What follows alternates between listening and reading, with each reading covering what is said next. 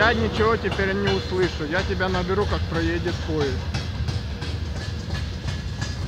Окей?